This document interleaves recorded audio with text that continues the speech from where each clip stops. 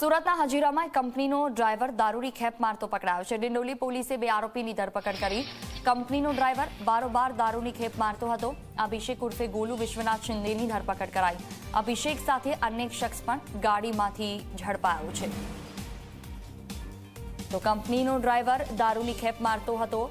બારોબાર આ દારૂની ખેપ મારતો હતો. અભિષેક ઉર્ફે ગોલુ વિશ્વનાથ શિંદેની ધરપકડ કરવામાં આવી છે.